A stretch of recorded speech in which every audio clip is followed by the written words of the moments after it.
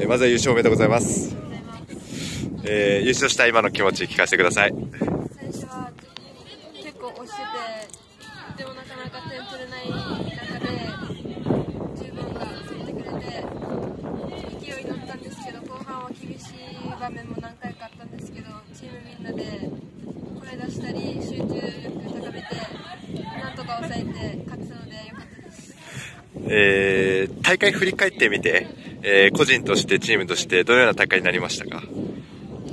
まず初めてのチームでの戦いで大変な部分もあったんですけど何回もみんなで話し合ったりし